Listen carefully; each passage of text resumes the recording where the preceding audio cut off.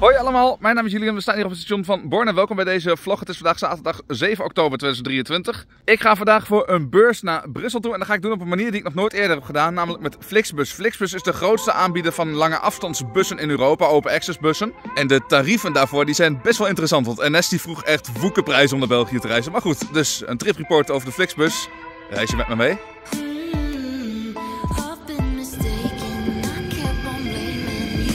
Super, dankjewel. Fijne dag nog. Tot ziens.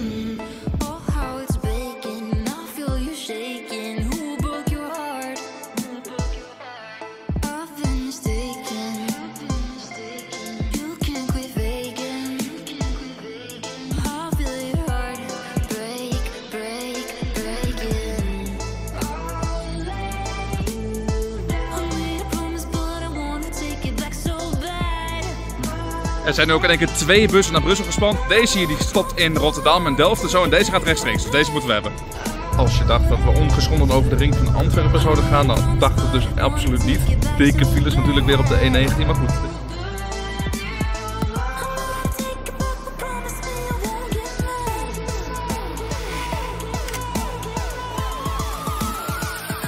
Beste reizigers, het volgende station is Amsterdam Sloterdijk.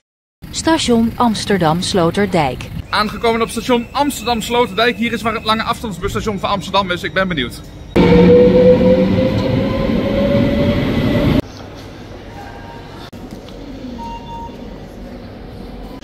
Nu ben ik op zoek naar waar ik heen moet. Maar het staat blijkbaar dus wel aangegeven. Bus internationaal, daar moeten we heen.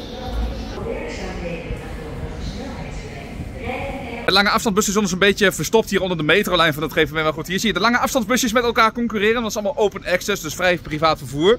Daar gaat Blablacar naar Parijs toe en daar gaat Flixbus naar Parijs toe. Ik ga dus met Flixbus naar Brussel toe. Ik heb mijn kaartje gekocht via de app van Flixbus. Dat is eigenlijk best wel makkelijk om te doen. Het boeken gaat als volgt. Je vult in van waar naar waar je wilt en op welke dag. Dan druk je op zoeken. Kijk, dan komen er allemaal prijsjes naar voren heen. En zelfs op de dag zelf kun je nog voor 12 euro van Amsterdam naar Brussel. Nou, dat gaat je met Thalys of NS nooit lukken. Voor 1,99 euro kun je een stoel reserveren, die kun je dan uitzoeken. Wij nemen dus de Direct Expressbus 810 naar Brussel toe. Die stopt onderweg helemaal nergens en dat zal wel een van deze groene dingen hier worden.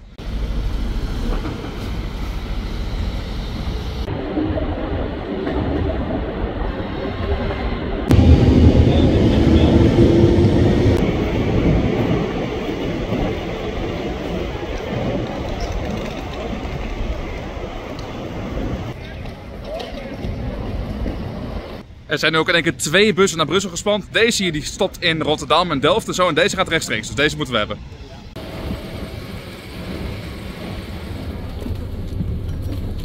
Vaatside. Aan boord van de Flixbus naar Brussel. Tijd voor een korte comfortreview.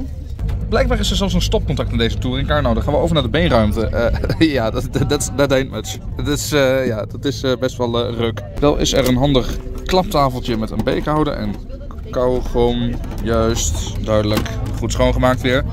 Ja, het is allemaal een beetje budget. Maar ja, mag ik voor 17 euro klagen? Laat het achter in de comments.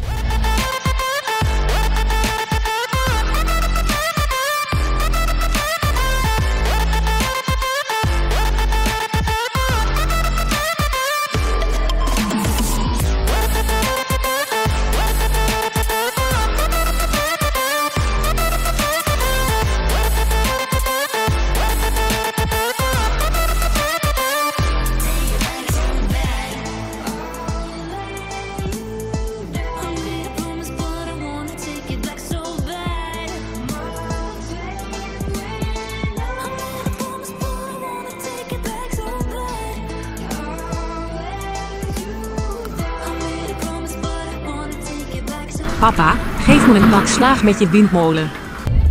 Als je dacht dat we ongeschonden over de ring van Antwerpen zouden gaan, nou dacht het dus absoluut niet. Dikke files natuurlijk weer op de E19, maar goed, er is een, blijkbaar een busbaan, dus we kunnen er langs, dus dat scheelt.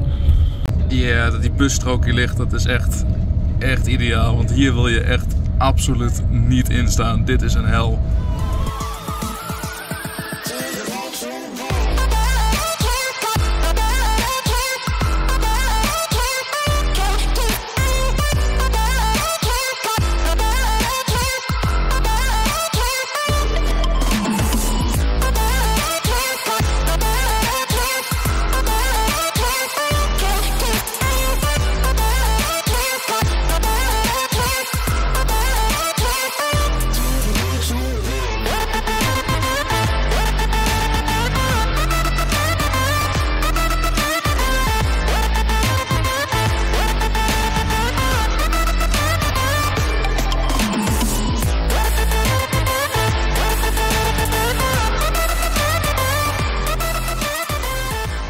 Na twee uur en drie kwartier zijn wij punctueel. Ja, ja, het kan wellicht aangekomen op station Brussel-Noord met deze groene Futura. Wat best wel een comfortabele bus trouwens.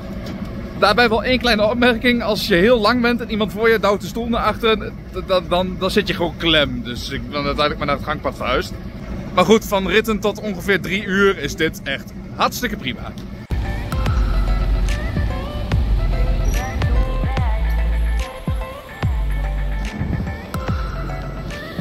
Wel blij zijn dat je wordt afgezet in een soort business district en niet op het daadwerkelijke busstation van Brussel. Dat, dat is deze ondergrondse bunker. Dit is niet best.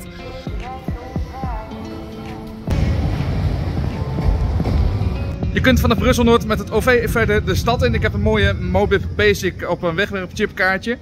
Moet ook wel eerlijk zeggen dat dit station hier op Brussel Noord ook wel erg intens uitziet.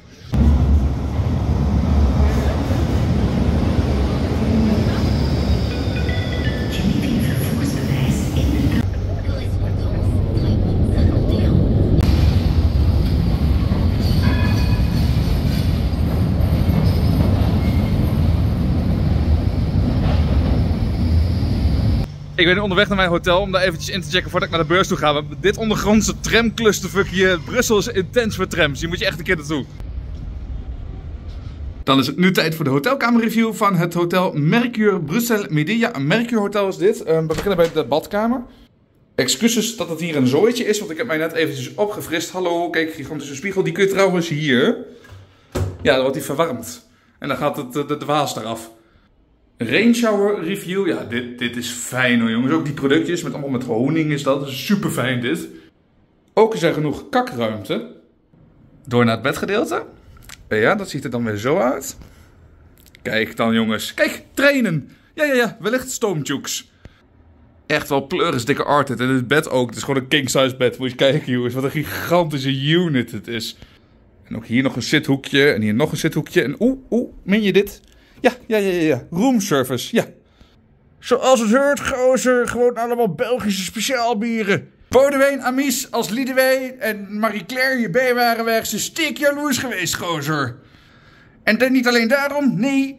Ook heb ik met mijn hotel, ik doe het eventjes zonder accent met mijn hotelkamer toegang tot de spa. Dit hotel heeft een spa. Dat is ook 200 euro voor een dag. Maar toch, echt waar, dit is echt het beste merkje hotel. Oh ja, oh ja, de koffie en thee meme. Beste werkuur waar ik ooit heb ingezeten. Top hotel.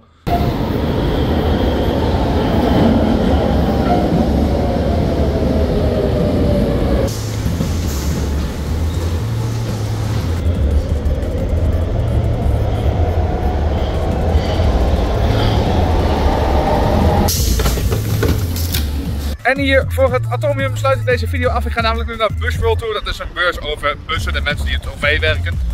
Dat is meer een professionele kant, dus dat laat ik lekker achterwege. Ik verder niet filmen. Daarna ben ik nog de stad in geweest naar Café Bier Centraal. Voor een heerlijke halve liter Delirium Red was ik echt aan toe. En daarna op het hotelkamertje nog eventjes een heerlijke fles champagne gehaald. Een lekkere brut. Ik zeg, Zante, wat vond je van de video? Laat het achter in de comments. Heel graag tot de volgende keer. Later en naar dicht.